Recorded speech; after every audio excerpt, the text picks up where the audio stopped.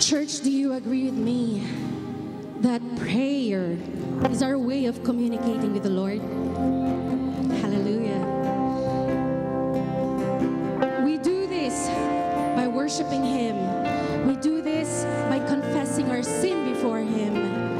We do this because we need Him, especially in the most difficult times of our lives.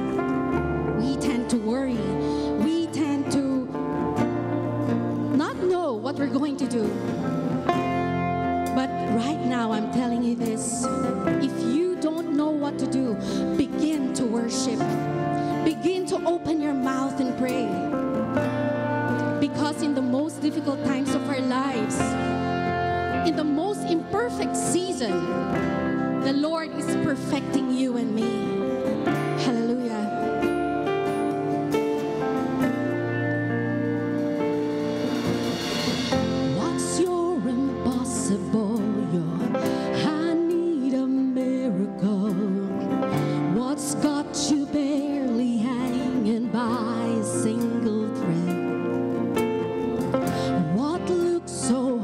is now what weighs down your heart with doubt.